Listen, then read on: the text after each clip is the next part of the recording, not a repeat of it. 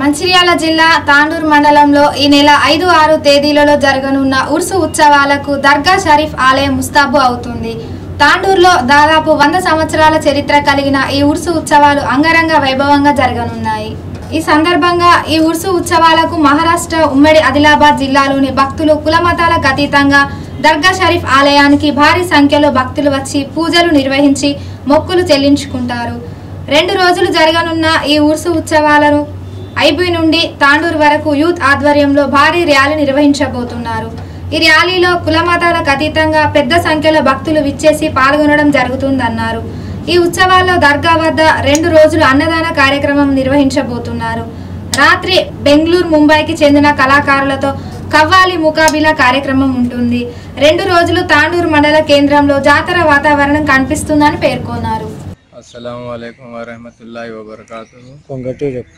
अवज़बिल्लिमिनशैतान रजीम बसमीम आज तांडुर में हर साल की तरह इस साल भी मुहर्रम की 24 और 25 को हज़रत बाबा मखदूम शहीद, हज़रत बाबा मखू शहीद रहमत के उर्स मुबारक पर हम हर साल संदल शरीफ बहुत ही शान और शौकत के साथ और पूरे गाँव का गश्त करता हुआ जनाब अब्दुल जलील साहब और अब्दुल जब्बार साहब के मरहूम, उनके घर से संदल हर साल निकलता है।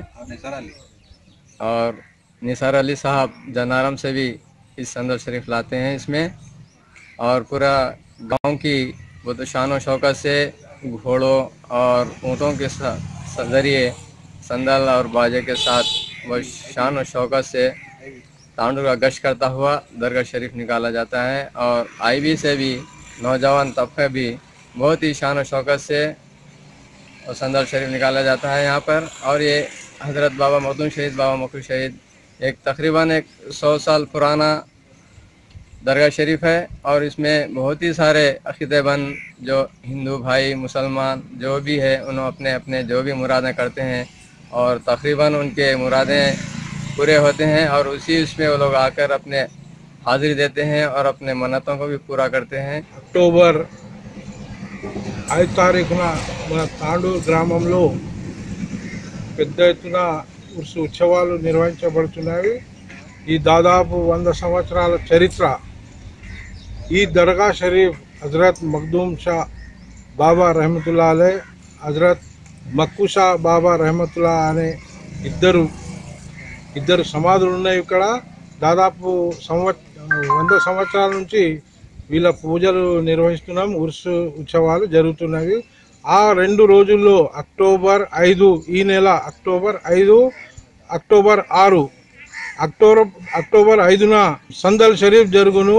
తాండూరు వాస్తవ్యులు తాళ్ళపల్లి లక్ష్మణ్ గౌడ్ గారి ఆయన కూడా స్వర్గస్థులయ్యారు.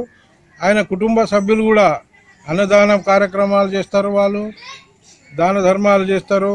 ఈ ఉత్సవాల్లో పాల్గొంటారు.